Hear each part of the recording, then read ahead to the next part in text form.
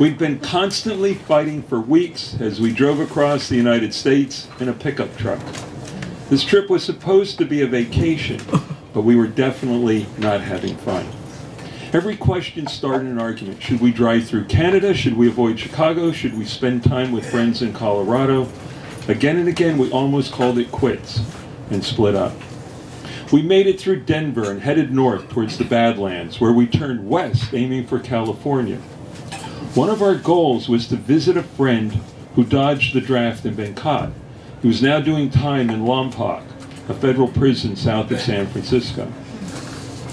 The Badlands were both beautiful and dangerous. The highway we were on had been cut through an endless series of ridges, and the jagged edges came right down to the shoulder of the road.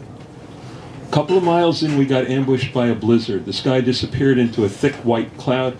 Couldn't see a thing in front of us. The truck skidded out of control and spun off the road.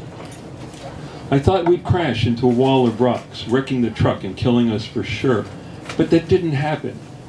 The pickup bounced down the side of a slope into an unexpected clearing and finally came to a stop. I turned off the engine and we looked at each other, stunned and relieved, though our cat, who'd been with us the entire trip, had jumped down and was hiding under the seat. We hugged each other, and the cat leaped back onto your lap. I turned the engine on and slowly eased the truck back onto the highway, proceeding towards the nearest exit, about 10 miles an hour. We checked into the first motel we saw and fucked all night long.